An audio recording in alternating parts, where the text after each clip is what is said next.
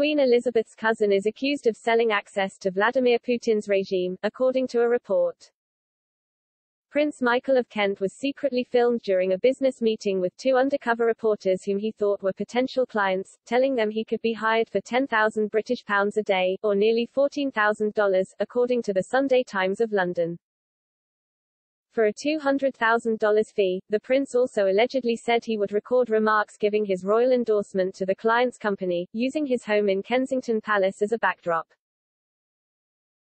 The revelations came after a joint investigation by the paper and Britain's Channel 4's dispatches.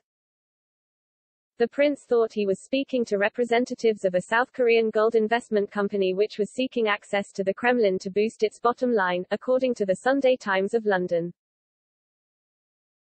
The prince had said earlier he was very excited to take up a role helping the prospective client's business in Russia.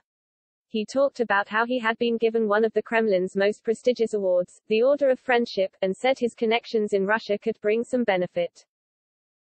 The royal allegedly claimed he was very excited to help the purported clients and spoke of getting one of the Kremlin's most prestigious awards, called the Order of Friendship. He promised his connections in Russia could bring some benefit, the paper reported. He issued a statement denying the allegations.